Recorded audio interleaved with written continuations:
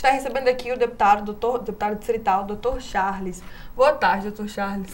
Boa tarde, eu quero dizer que é um prazer estar aqui com você. Há dois anos atrás Foi. nós tivemos o prazer de ser entrevistado por você. E é eu verdade. dizendo que você, muito nova, e já está com uma carreira assim, bem conceituada. É Parabéns verdade. a você. Ah, e é um obrigada. prazer estar aqui com Olha, você imagina. e com quem nos assiste.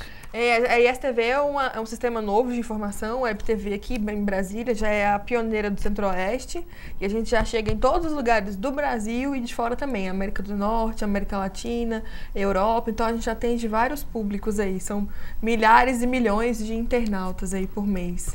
Imagina, né? Um novo meio de comunicação, é então chega no mundo inteiro rapidinho. Chega no mundo, mundo inteiro. E eu que venho dessa geração um pouquinho, a gente fica assim entusiasmado também de ver como nós hoje podemos chegar a qualquer continente é rápido. E isso é, é muito importante para a humanidade, para que nós possamos cada vez ter, assim, ao invés dessa, de tudo isso, dessa parafernália, servir assim para automatizar, não que sirva para humanizar, que sirva para que tenhamos projetos que a gente possa levar a todos os outros povos. É verdade, levar informação para as pessoas, né? Verdade. Isso é muito bacana. Vamos lá, doutor Charles, o senhor é formado, é médico especializado em ginecologia e obstetrícia. É. Falando disso, acho que isso foi um dos principais ganchos, porque o senhor se enfatizou muito na questão da saúde. E é isso, acho que um dos maiores chamarizes da sua carreira como político, que é a questão da saúde. É. A gente vem numa saúde que vem cambaleando, né, doutor Charles? Aí de muitos anos é uma herança de todos os governos que a gente pega e hoje não é diferente, até porque eu acho que tem que ser um processo de dinamização muito bem estruturado para a gente conseguir reavivar a nossa saúde aí que anda bem doente, né, doutor Charles? Quais são as medidas em caráter assim de, de rapidez que a gente poderia fazer para aliviar o nosso sistema de saúde público aqui do Distrito Federal, doutor? Assim, eu acho que a gente já fez esse diagnóstico, assim, todas as pessoas hoje têm um pouquinho do conhecimento do que está acontecendo. E, e, sempre se bate na mesma tecla, uhum. o problema do entorno e das Isso. pessoas que vêm de fora que onera o sistema do Distrito Federal. É verdade? É verdade. Mas aí já teve tempo de nós planejarmos, uhum. de nós buscarmos soluções para que realmente atenda esse povo. Nós temos uma capacidade de atendimento X, se nós temos gente 2, 3X vindo para cá, então nós temos que planejar uhum. para receber essas pessoas.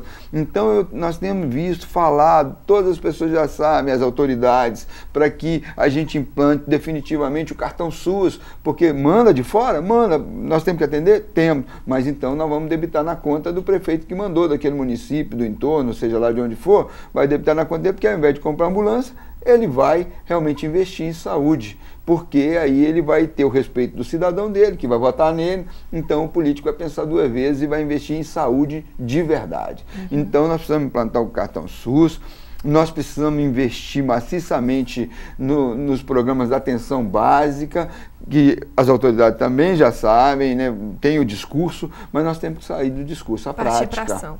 É, é, isso que tem que ser resolvido. Então nós temos uma faculdade de medicina hoje aqui no Distrito Federal, é, que a gente fica muito feliz que já atua na comunidade, fazendo aquela parte mais básica, lá na ponta. Você pega aquela pessoa, por exemplo, pega uma pessoa diabética, vamos dar um exemplo. Uhum. Ela lá, se ela for atuar lá perto da casa dela, se ela for atendida lá, se ela levou um tropeção, fez uma ferida e foi lá, fez o curativo todo dia, fica boa lá. Se ela vai deslocar para um hospital já num nível secundário, já, aí ela tem dificuldade, não consegue, aquela ferida cresce, aí ela vai perder o pé, aí perde o pé, imagina uma pessoa, né, vai ficar sem, sem membro, amputada vai ter todos os problemas decorrentes disso, vai ficar internada, vai ter gasto, vai ter custo. Então, se nós estruturarmos a atenção básica, o programa Família Saudável, mais na periferia, depois, no segundo momento, os centros de saúde, mas não adianta ter só a estrutura física com realmente as pessoas, né?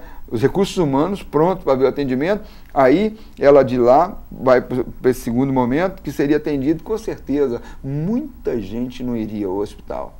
Por quê que tem essas filas horrendas aí? É porque as pessoas sabem que bem ou mal ela vai demorar 10 horas, mas, mas ela, ela, vai, vai ser, ser atendida. atendida. Então ela vai realmente lá para um hospital desse causar todo esse transtorno que as pessoas falam. E aí aquelas que precisam realmente têm dificuldade de acesso, porque as outras que podiam ser atendidas, uma cefaleia, uma dor de cabeça, é, qualquer coisa que poderia ter sido atendido no programa Família Saudável ou no centro de saúde, elas se deslocam para o hospital. Aí sofre todo mundo com o sistema de saúde dessa maneira. É verdade. Doutor Charles, o senhor ainda trabalha? Ainda não, não tem como. Continuo, a minha vida é trabalhar. Você fala trabalhar como, como médico? médico? É. Aí eu, eu faço, mas hoje eu não tenho como estar tá indo a um hospital, cumprir uma escala, tudo, né? Porque não teria como, porque eu tenho que estar tá na cama. Mas eu faço, às vezes, a cada 20, é, 30 dias, mas a cada 20 dias eu escolho por exemplo, a ONG Voluntários da Saúde na Samambaia, lá na uhum. 113, eu vou lá, uma ONG é, que eu, a gente tinha fundado uns anos atrás e depois é, assumiram outras diretorias, mas eu ainda vou, assim, às vezes, para atender as pessoas lá nessa cidade que tem carência de atendimento e eu faço esse atendimento. Muito bem, porque eu acho que o médico é uma, é, é uma, uma profissão que exige muita paixão quem escolhe ser médico. Eu imagino que o senhor, tendo sido eleito com essa principal proposta da saúde, seja muito requisitado para ainda ser médico, além de já ser político, né? É, você colocou uma coisa, eu acho que de suma importância. É, a medicina é um sacerdócio. É. Né? Então, você nunca vai deixar de ser médico. Porque, olha, quantas vezes você colocou uma questão interessante, às vezes você em viagem e acontece um fato grave e você tem que atuar. E você não vai deixar de atuar, porque você não deixou de ser médico. Então, muitas vezes a gente acontece isso. E hoje, às vezes nós estamos em qualquer lugar, nós somos assim chamados a se atuar, a atuar, e nós realmente, eu tenho que, de vez em quando, exercer a minha atividade médica, com muita alegria, aliás, que eu faço, porque é o que você falou, é uma paixão, uma alegria, é um compromisso que é um você tem com as pessoas. É verdade, é como se fosse um voto. É um voto. É um voto, né, doutor? É, e é um voto mesmo, é né? verdade. né? Voto de Hipócrates que, que a gente faz, né? Todo aquele juramento ético juramento, de vocês tudo, né? E, e, você tem que cumprir aqui. É verdade. Doutor Charles, eu quero entrar em um outro ponto com o senhor, que é a questão da regularização dos quiosques. Que eu sei que o senhor é uma pessoa muito ativa nessa questão de regularização, por ainda ser morador do Vicente Pires, uma área que ainda está nesse processo de regularização. Eu vi uma notícia de semana passada do senhor falando sobre a questão da regularização dos quiosques, dos quiosques sobre a questão do aumento de mais de mil por cento. É. E o senhor falou que é contra essa questão. Por qual, por qual foi o grande motivo desse aumento, se muito significativo, doutor Charles? O que, que se deu a esse impasse?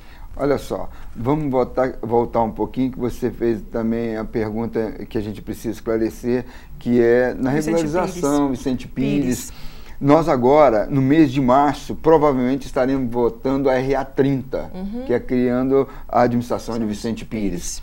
E estamos reunindo é, com o governo, estamos reunindo com o governo local, com o governo federal, uma vez por mês, para a gente estabelecer os critérios base da regularização definitiva de Vicente Pires. Uhum. E nós estamos bem adiantados, buscando um preço melhor, entendeu? Então, o governador Arruda, com a Lúcia de Carvalho, todos reunidos para ver se a gente... todas essas pessoas, gerentes é dos condomínios, Paulo, né? Então, para que a gente consiga entrar no entendimento que as pessoas possam pagar adequadamente e a gente definitivamente regularize. E acabe com essa é. novela, é né, uma, doutor? Isso, é uma novela. É arrastada, o negócio, parece um novelão mexicano, né?